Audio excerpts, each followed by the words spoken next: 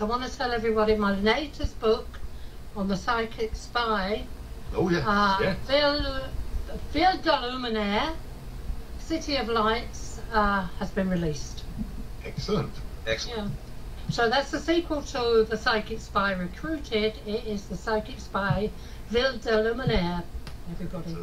Go out and get it!